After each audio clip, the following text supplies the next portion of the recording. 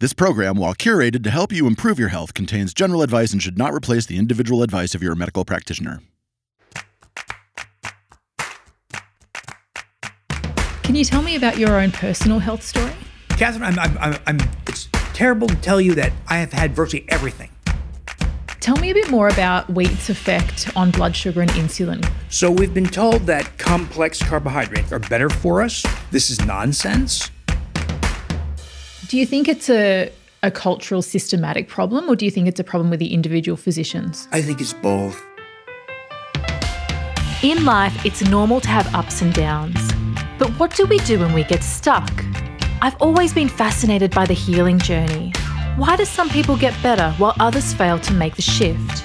Welcome to the Expert Series, where you'll meet 25 of the world leaders in health and wellness, discussing their passions and what it takes to make your shift. There's an electrical feeling in the room. I had to be a mom. It was so important to me. I've always been a pain in the butt, and I love that. I knew that I wanted to help people. I'm Katherine Maslen, and this is The Shift.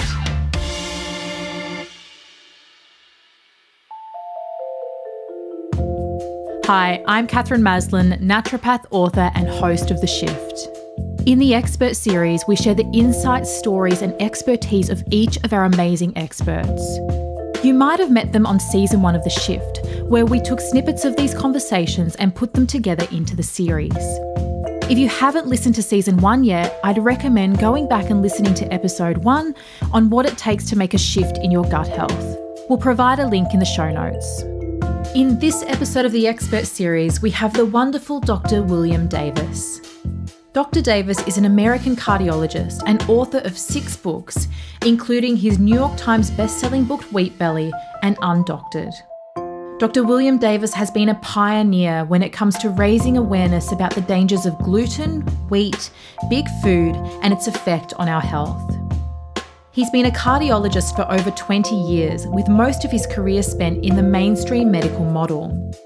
After overcoming his own health issues using diet and lifestyle modifications, Dr. Davis became passionate about helping patients to prevent cardiovascular disease and other conditions by modifying their diet rather than turning to drugs. Dr. William Davis has discussed his views on many major media outlets, including The Dr. Oz Show and Fox TV, and he's been featured in the New York Times, the Los Angeles Times, the Huffington Post, amongst others. He is a passionate advocate for preventative healthcare, and I can't wait to share this extended conversation with you.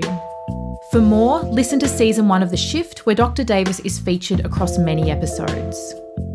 Listen out for how Dr. Davis made his transition from the mainstream medical doctor into a holistic model of care, and of course, his opinions on wheat and gluten. First up, I asked him to introduce himself and tell me where he was from.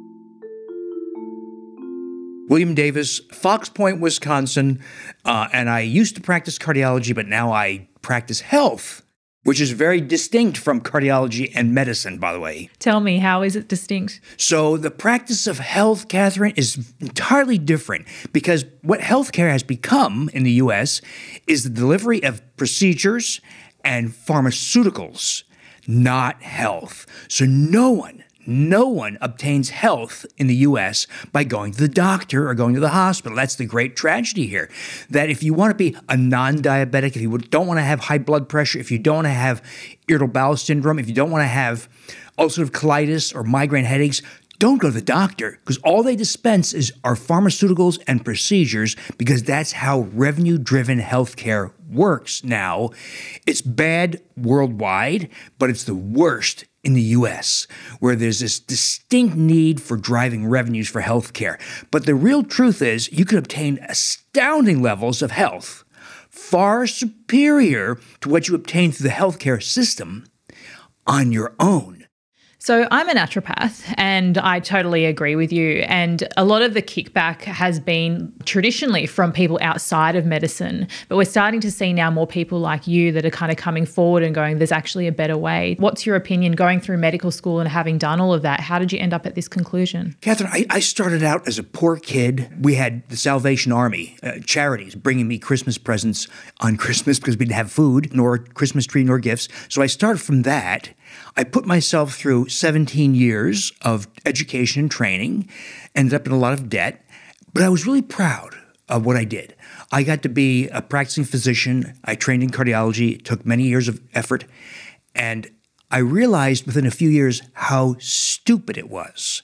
But the turning point for me was the death of my mom, who died of sudden cardiac death about four months after her successful two vessel coronary angioplasty. So she got two vessels dilated via angioplasty and died suddenly in her bed. But it drove home to me how pointless, how silly, how useless it was to just address this disease, coronary disease, in a procedure lab, in a cath lab, by dilating people's arteries or putting stents in or doing atherectomy and all those fancy procedures that I, I did morning till night. So I set myself on a course to identify a better way to identify early coronary disease. Well, this is 20 some years ago. Back then, as now, the only way to identify early coronary disease is via a CT heart scan. So we're talking about healthy, normal people going to work, taking care of their kids, not people in a procedure lab, not people who are having a procedure, just healthy, everyday people. So accountants, teachers, engineers, business people coming in for a heart scan, they get a score, a heart scan score, normal is zero. They would have a score, say, of 500. Well, what do you do with that? They're terrified. Now they know they have coronary disease. They'd say things like, Well, I'm 52. My dad had a fatal heart attack at 55. Am I set in the same path? What do you do about that? Well, 20 some years ago, I'd put that person aspirin, a statin drug like Lipitor, a low fat diet, exercise, everything moderation. What happens when you do that? The score goes up 25% per year. It's horrible. What happens if you do nothing? Don't do any of that stuff. It goes up 25% per year. In other words, the conventional answers for coronary disease have no effect at all. What do you do? If the conventional answers do nothing, well, you have to find solutions. That's what I did. It took me years to figure out, but it led to things like wheat and grain elimination. Because if you don't do cholesterol testing, this ridiculous, outdated technology called cholesterol testing, but you do what's the real test, lipoprotein testing. You eliminate wheat and grains, and it goes to zero or something close to zero, very low number. In other words, it's eliminated, it's obliterated by a diet free of wheat and grains. So I did this for coronary risk because of small LDL particles. The real cause of heart disease, not LDL cholesterol, that's the big pharma version that allows them to sell you statin drugs. So eliminate small LDL particles down to zero or something close to that. And people come back and they said to me, You didn't tell me I would become a non diabetic and I have to stop my insulin and diabetes drugs because my blood sugar was too low. You didn't tell me I'd lose 47 pounds in three months. You didn't tell me that my eczema, psoriasis, and seborrhea would go away. You didn't tell me my syndrome would be gone in a week. Why did my ulcerative colitis go away? Why did my Crohn's disease go away? Why did my lupus rash go away? I don't understand why I'm no longer depressed. Why is my health so transformed? Became clear that I had stumbled on something for coronary reasons that was so unexpected, so huge that I wanted to understand what the hell is going on here. Why, if you remove the food that every government agency tells you is essential to your health, why would we remove it and people are transformed in health and weight? Why? And that's why I started to track down all the reasons why. that led to the whole Wheat Belly experience. As a doctor, then, how did it make you feel having people coming back and not getting better from your care when you were doing the conventional model? Medicine makes its money by doing the wrong thing. Best thing for a cardiologist is you have a heart attack or you have angina, chest pain, or heart failure. The best thing for an oncologist is that you have lung cancer, or ovarian cancer, or uterine cancer. In other words, healthcare is driven by tragedy and bad outcomes. John Q Primary Care likes you to be sick. That's the tragedy of healthcare. It's intent on having you be sick and doesn't even know how to make you healthy. They don't know how to get your triglycerides down. They don't know how to get rid of fatty liver in two weeks. So I started to realize quickly that what we do in conventional healthcare is so dramatically wrong and that there really are easy answers out there. Do you think it's a a cultural systematic problem, or do you think it's a problem with the individual physicians? I think it's both. I have a lot of friends who are still you know, doctors who are friends, despite all the nasty things I say. And they tell me, Bill, I'm an employee of the hospital system. There are large hospital systems, typically, you know, four, five, ten different hospitals all in a single system. Well, my colleagues are employees of these systems, and they're told, Doctor, the more revenue you drive, the larger your end of quarter bonus, such that the more MRIs, surgical consultations, um, tilt studies, heart catheterizations, uh, appendectomies, uh, etc. You drive, the larger your bonus. The difference is, say, zero dollars and maybe fifty thousand dollars at the end of the quarter. So, what do you think my colleagues do? They drive revenues like mad. They see a nice person who's got good health insurance and they they churn that person for procedures. I've seen it happen so many times, it's shameful. I see people going in for shoulder pain because they were gardening in the springtime. They're unaccustomed to physical effort because of a sedentary winter. And they end up with a heart catheterization, an electrophysiologic study, an MRI, $140,000, $150,000 worth of tests for shoulder pain that could have been managed easily with none of those things. But that's what's driving healthcare now. And in the US, it's really bad because we also have the proliferation of direct to consumer drug advertising, which is about 50% or more of all advertising revenue for big media. So now big media, ABC, NBC, CBS, cable TV, have all become uncomfortable with broadcasting real news about health because it could alienate their advertising. So, what happened to you once you started stepping outside of the box and speaking out about this stuff? My colleagues were confused. They didn't understand. So, I had hospital administrators come to me and said, Dr. Davis, where are you taking all your patients? Nobody was coming to the hospital for procedures. Nobody was coming to the hospital with heart failure or heart attacks. They said, Where, where do you take your patients now? I said, Here. They said, Well, I, we don't understand. You have so few hospitalizations. You must be taking them someplace else. I no, my patients don't get sick. They don't have, they have no angina, they have no heart attacks. They laughed. They thought I was joking. They didn't believe me. That's typically what happens. Because when you tell somebody a message that says essentially what you do is wrong, all this this entire hospital, this $80 million wing you have for cardiovascular health is silly, it's unnecessary, you don't need this, they don't want to hear it. It's like the tobacco industry all over again. If you say, you know, smoking cigarettes causes lung cancer and heart disease, and you know the, you pay your mortgage because big tobacco pays your salary, they don't want to hear it. Same thing in healthcare. They don't want to hear that what they do is silly and useless. All right, I'm going to just get a little bit of backstory if that's okay. Can you tell me where were you born? Yokohama, Japan. Ah, and tell me what, what happened then. My mom married an army guy in the army, and they moved to New Jersey, where he was from. And I, so I grew up in New Jersey, so on the East Coast. You so did you grow up in New Jersey? Yeah, I grew up a poor kid in New Jersey, a single mom, two sisters, and um, I mean we were poor people. We, you know, the teacher would donate the Christmas tree from the class so I could have a Christmas tree. Salvation Army would bring us food. I mean, we were really poor. So when I did finally get into medicine, I was really pretty proud of what I had done. I really did 17 years of educate of, of college and training. And when it finally dawned on me that what I did was wrong, that I spent 17 years learning something that was just plain wrong, that this was a system created for profit, not to dispense health. It was very painful. And you know what? I had a procedural practice. Uh, morning till night, I did procedures, heart procedures, often seven days a week. And I was good at it. That's what brought me here was uh, a hospital system brought me in to uh, upgrade the procedural practices here.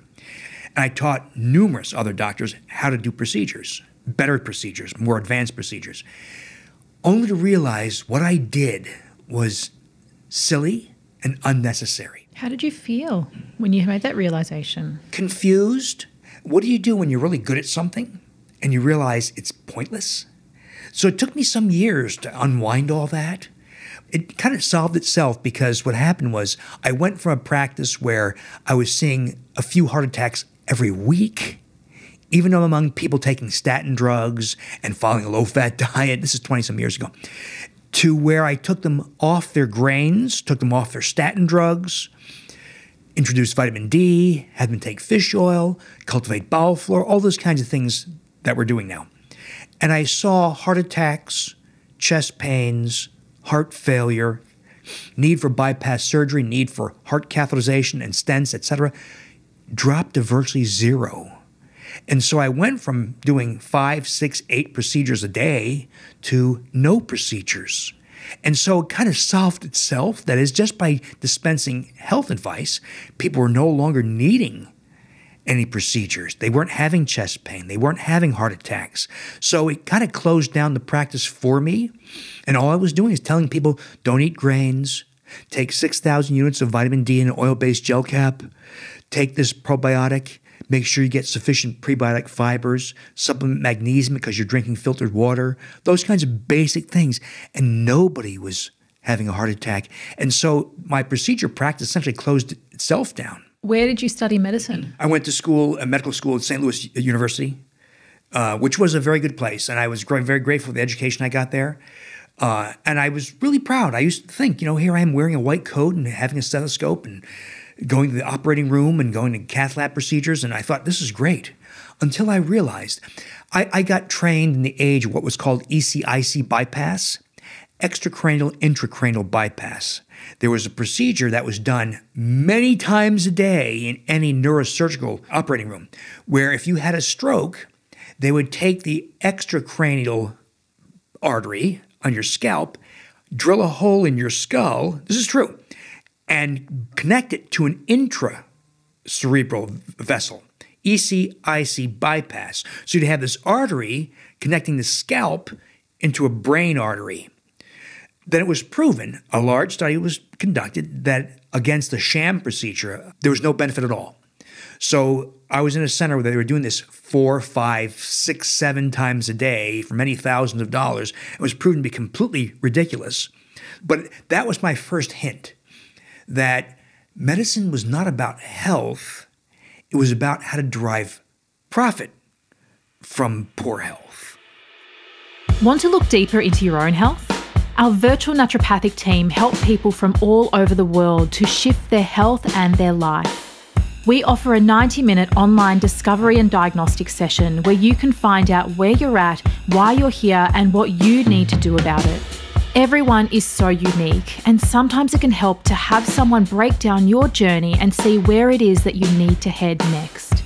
To find out more, go to theshiftclinic.com and click on Shift with Us. The Shift! So then you graduated medicine and then you went on to continue your study. What did you do?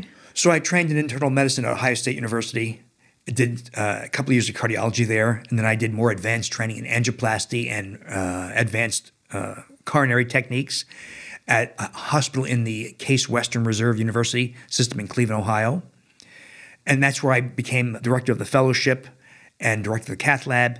So I taught many of my colleagues how to do advanced procedures. That's the irony of my life that I taught my colleagues, many of them, how to do advanced coronary procedures that I now recognize as being largely useless, pointless, and unnecessary.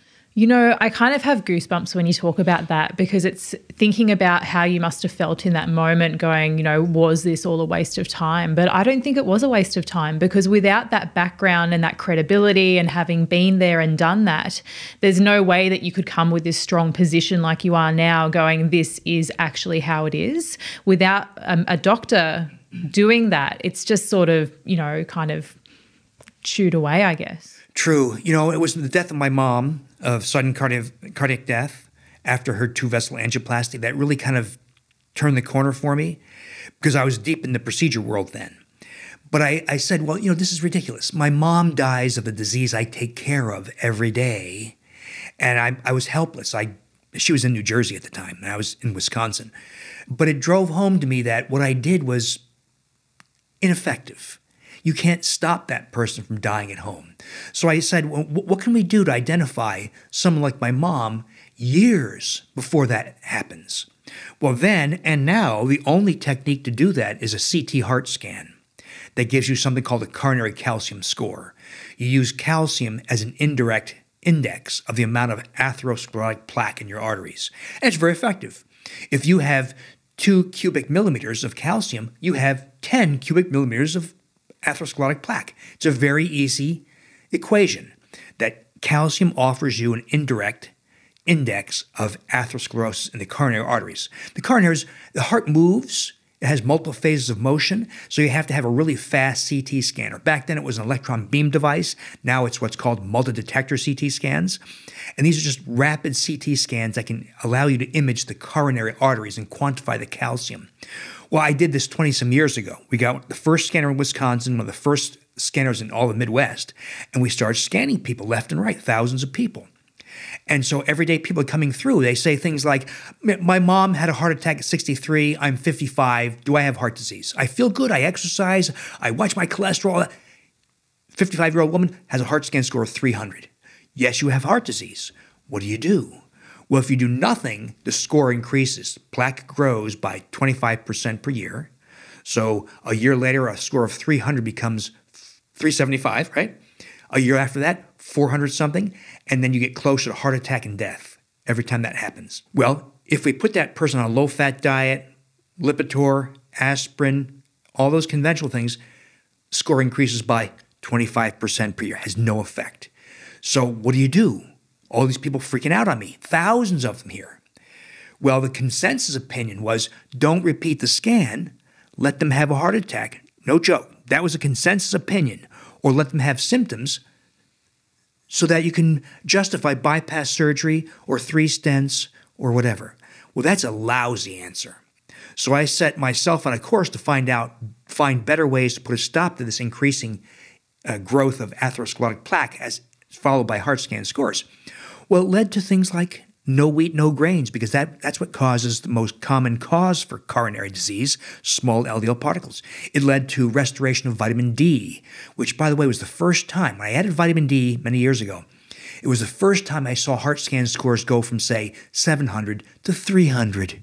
You saw dramatic regression, in addition to the restoration of mood, clarity of thought, increased bone density, reversal of insulin resistance, all the marvelous effects of restoring vitamin D, particularly in this climate, right, where it's cold. Even if you go outside now in January, you can't get enough sun. The sun's too weak. You're wearing clothes, you're wearing almost all your skin surface area is covered. And so restoring vitamin D was astounding. So the real turning point was, ironically, the death of my mother from the disease that I took care of every day. What did you do once your mum died? What steps did you take to kind of change what you were doing?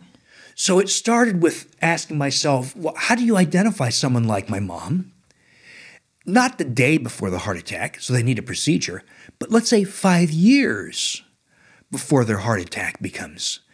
There was a, a TV personality in the US named Tim Russert. He was very famous. This goes back some years now, but he was the host of a, of a news show. A smart guy, very smart guy. Well, he had a heart scan, and his score was 550. He went to his doctor, and the doctor says, That's a stupid test. Don't pay any attention to it. Take your Lipitor, take your aspirin, take your beta blocker, and exercise every day. Russert follows that advice. He takes his drugs, he bikes on a stationary bike every day, and dropped dead five years later on his TV set when his score, if you do the simple math, if 550 increases by 25 to 30% per year, he died with a score of about 1800.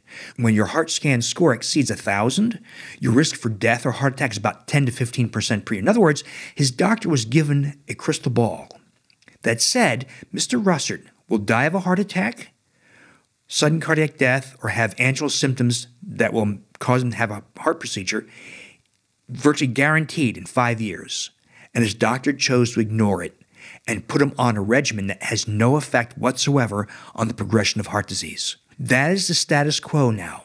But that's what changed. Those are the kinds of things that change what I do. Realizing that telling somebody, maybe you'll come in for a procedure in five years. That's my answer. In the meantime, take a statin drug, aspirin, beta blocker, cut your fat. That is no better than doing nothing. Can you tell me about your own personal health story? Katherine, I'm, I'm, I'm, I'm, it's terrible to tell you that I have had virtually everything. I was a type 2 diabetic. I had irritable bowel syndrome. I had eczema. I had uh, fatigue, overweight, high triglycerides, low HDL cholesterol, small LDL. I mean, you name it, I had it. SIBO. but it also illustrated to me how powerful it is to correct these things with no medication, without a conventional doctor telling you you need Prilosec or Lipitor, that you have astounding control over.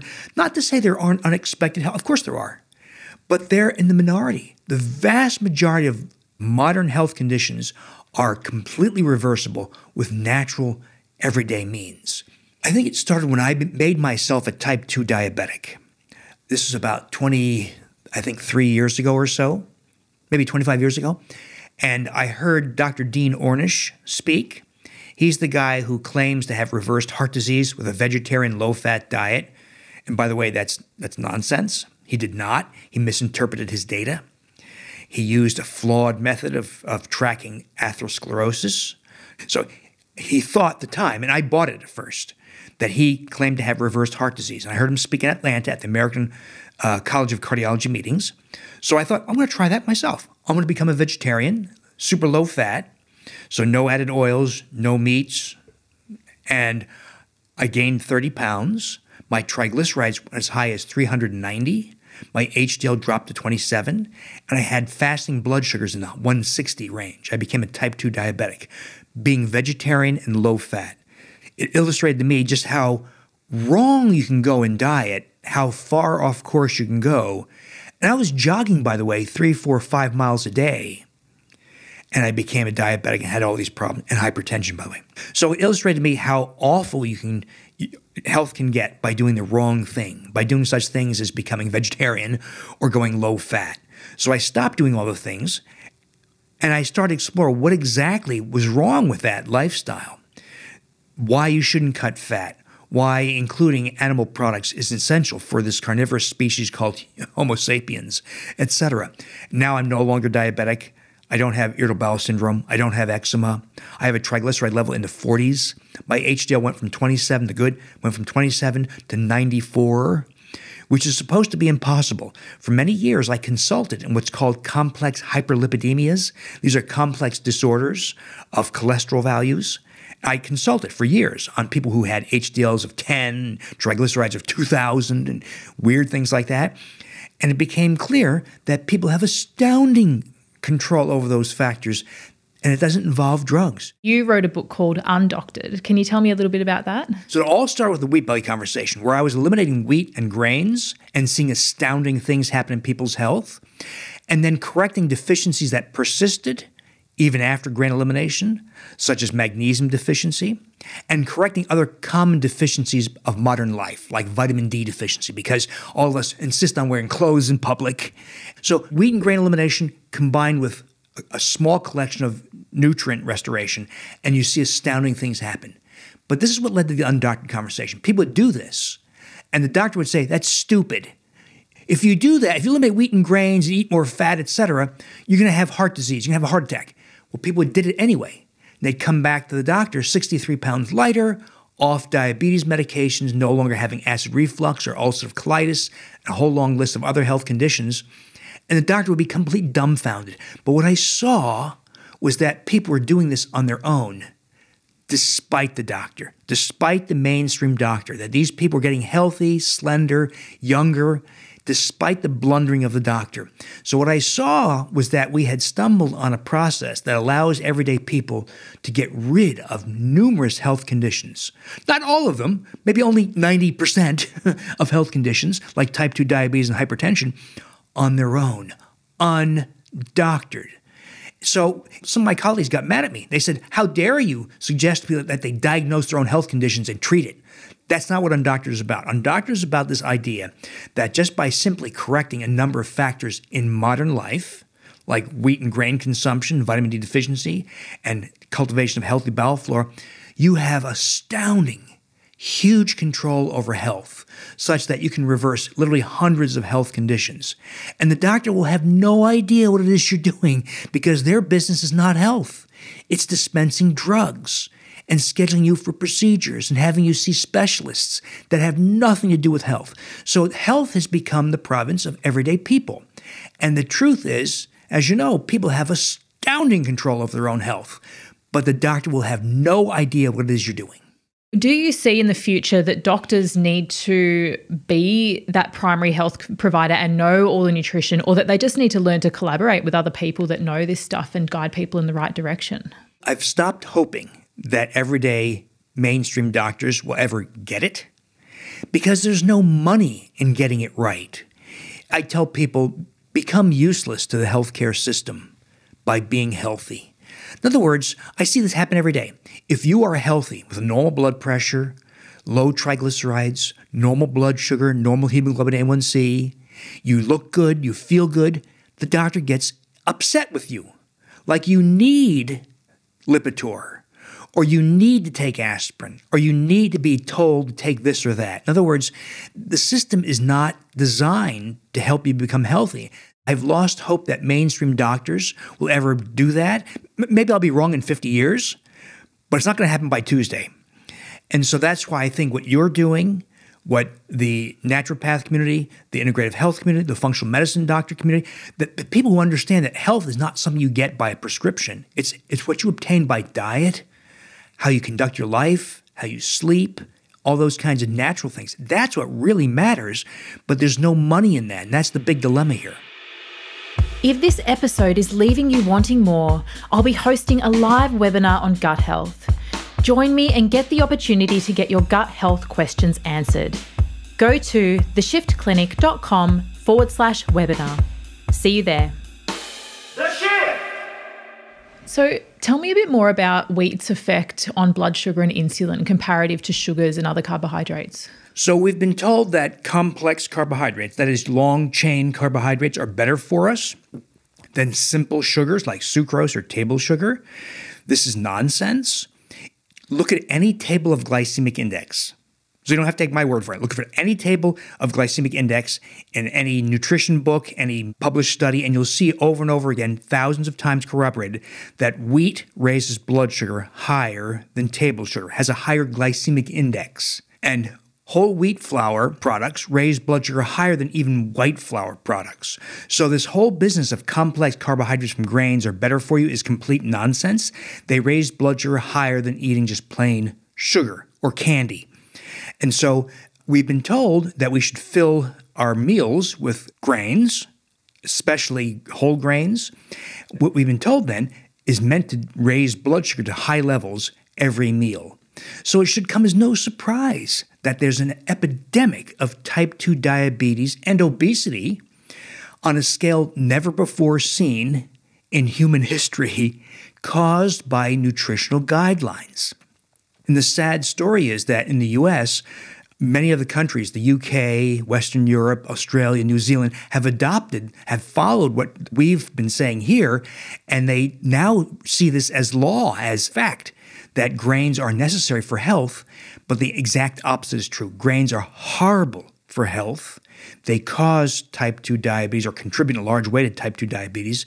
And a lot of this was caused by national dietary guidelines. Where do these guidelines come from? A lot of these guidelines come from the U.S. Dietary Guidelines for Americans. That comes from the U.S. Department of Health and Human Services and other similar agencies based on poor interpretation of the science, some very bad science, and the influence of industry. You know, the USDA, to their credit, whenever they have to issue dietary guidelines, they open it to public conversation.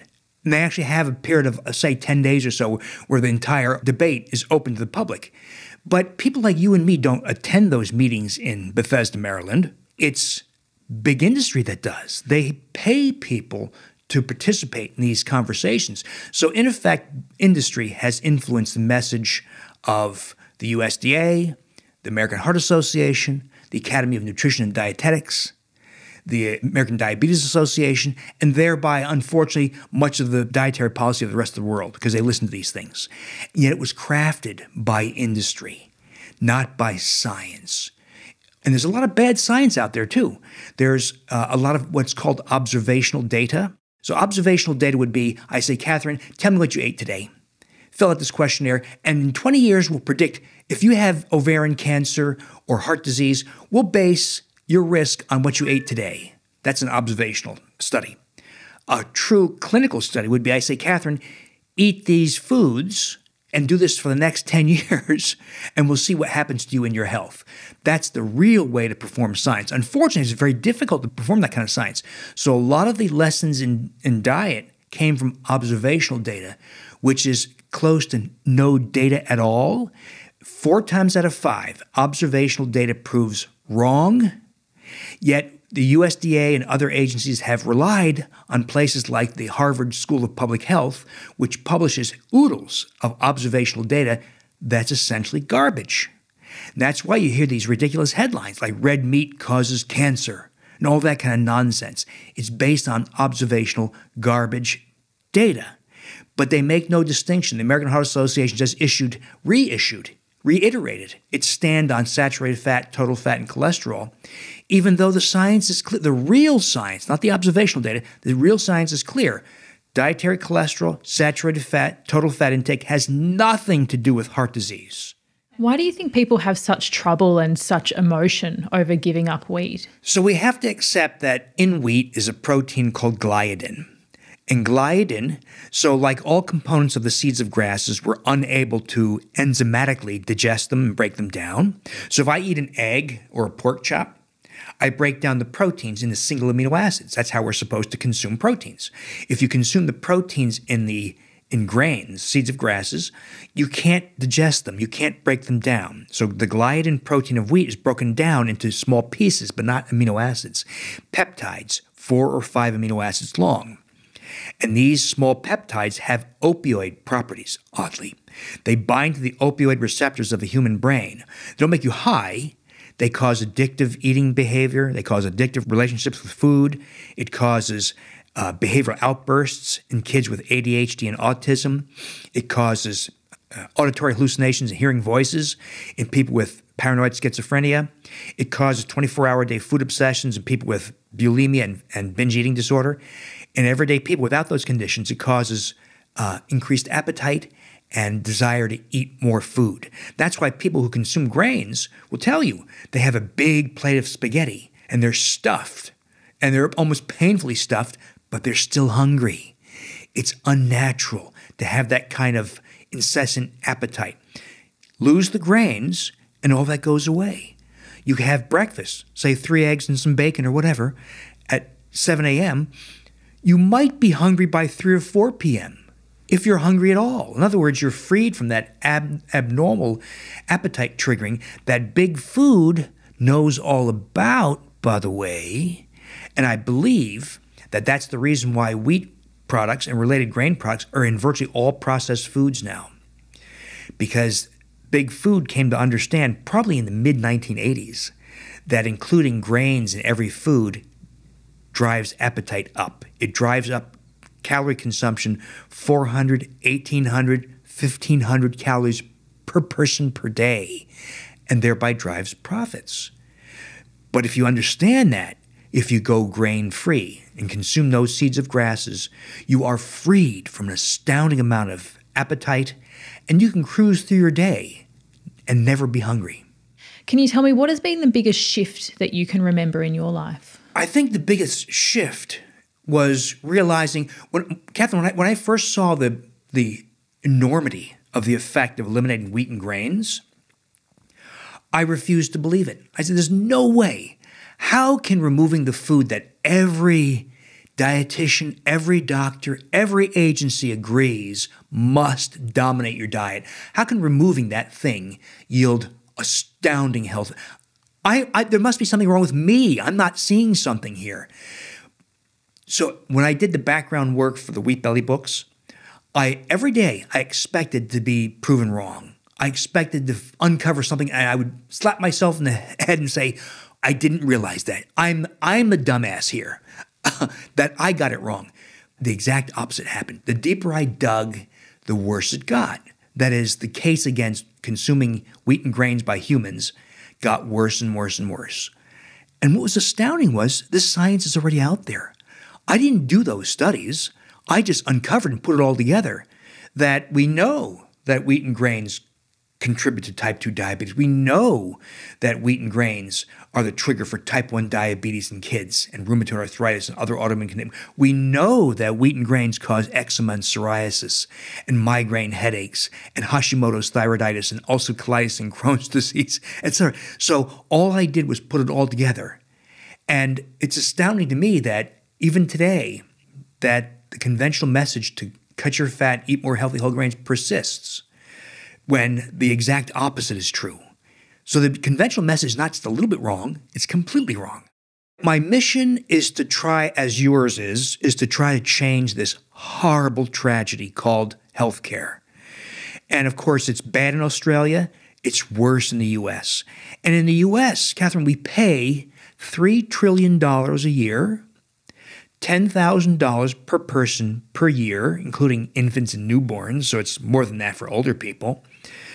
18.8% of GDP, more than any other nation in the earth, yet we rank last in quality of health care among all Western countries. We're behind Canada, the UK, Australia, New Zealand, France, uh, the Netherlands. We're behind all those countries in healthcare quality.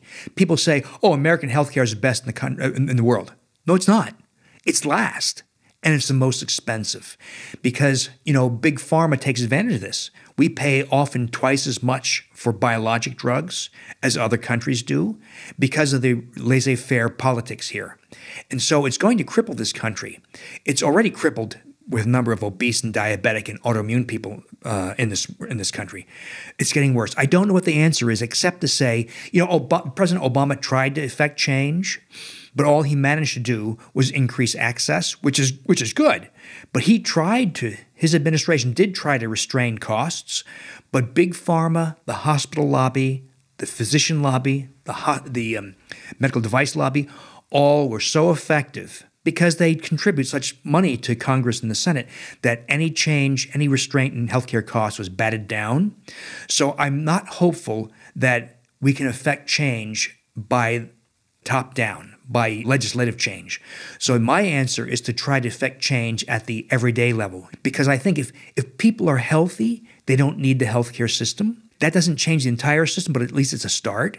So my mission is to help people understand that you don't need prescription drugs, you don't need procedures, and that the health you obtain via these kinds of natural means is dramatically superior to the cheap excuse for health that the doctor can provide. One of the things that you said I really loved, and that was when I caused my type 2 diabetes. You know, and it's that people having that self responsibility to know that they're actually causing what's going on for them. So they need to be proactive and be self responsible. A good friend of mine, her mom uh, was diagnosed with type 2 diabetes just recently and was sent to a diabetes educator, a dietitian. And the diabetes educator gave her a diet that made her hemoglobin A1C skyrocket.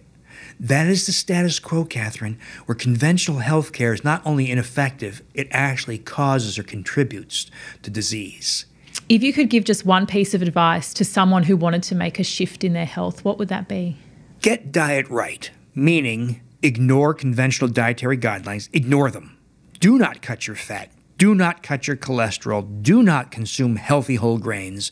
Instead, never restrict fat, never restrict calories, eat no wheat nor grains. And that alone, there's more to health than that, but that alone is a huge first step. And what I see happen is people say, I'll do the diet. And they say, well, I, gee, I didn't expect to lose 43 pounds in three months. I didn't know that my waist would shrink by six inches. I didn't know that my psoriasis would go away, etc.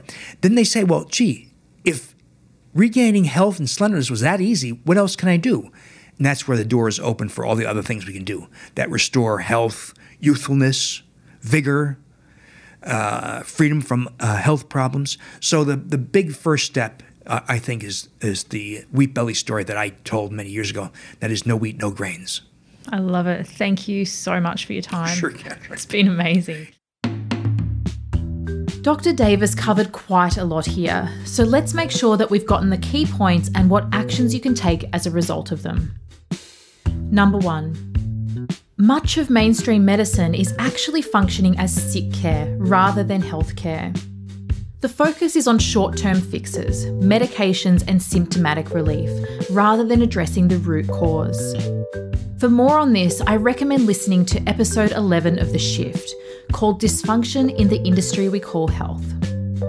Number two, as we've been discussing a lot, wheat poses all kinds of problems for the body. It increases your blood sugar more than actual sugar, and it contributes to conditions like type 2 diabetes and metabolic syndrome. There's a lot more on wheat and gluten in episode 9 of The Shift, so I'd recommend taking a listen if you haven't yet. Number three, when you are presented with a chronic disease, lifestyle medicine should always be where you look, no matter if you are medicated or not. You might have remembered episode 17 with Dr. David Perlmutter, where we look at Alzheimer's in this context. Heart issues, diabetes, and metabolic syndrome are all diseases of lifestyle that are largely preventable. Number four, don't wait for mainstream health to catch up to the latest science. I mentioned this in season one of The Shift, where it takes an average of 17 years for new research to get into your doctor's office. Advice given by GPs and the Dietetics Association is often very outdated and not based on the latest science. Learning is great, but doing is better. Here's my recommendations based on my conversation with Dr. William Davis. Number one, here it is again cut wheat out of your diet. It has little health benefit and has been associated with all kinds of problems. If you need more convincing, I'd recommend reading William's book Wheat Belly, which is available in hard copy, Kindle, and audiobook. Number two, if you're prescribed medication, do your research. Know what the side effects are and make a plan to approach the situation holistically. For this, the help of a good naturopath or an integrative medical specialist is invaluable so that you can make the right decision for you. Number three, begin to think about what you can do right now to prevent lifestyle diseases like diabetes and heart disease. We all have people that we love that are affected by these conditions, and it could be you next if you don't take action now. Dr. William Davis really is one of the most passionate health advocates I've ever met. Having lived and worked in the conventional medical field for so long, he can see the dysfunction and has chosen to do something about it. I'd highly recommend connecting with Dr. Davis on Facebook and visiting his website wheatbelly.com, where there is a heap of resources for you to make your shift. If you loved this episode, then please share it and tag both myself and Dr. Davis so that we know what you think. And of course, leave us a review. Your feedback helps me to give you what you need the most, as well as get us into the ears of more people. In the next episode of the Expert Series, I chat with Doctor of Chinese Medicine Nat Kringoudis. You don't want to miss this one. Coming up on The Shift. So let's have a conversation about the, well, contraception in general, but the oral contraceptive pill in particular, um, and women going on it before they're sexually mature. One of the most fascinating things I learned in writing this book is that, you know, a young girl's hormones don't really find their, their way until around 18. Why do you think that we're so scared to tell our young women and our children like about normal physiology and how things work? I feel like at some point the conversation changed and became inappropriate. I hope you're loving the information in the shift as much as I do. But maybe you're thinking, what do I need to do for me? Take our online assessment to discover what your gut is up to go to theshiftclinic.com forward slash quiz. The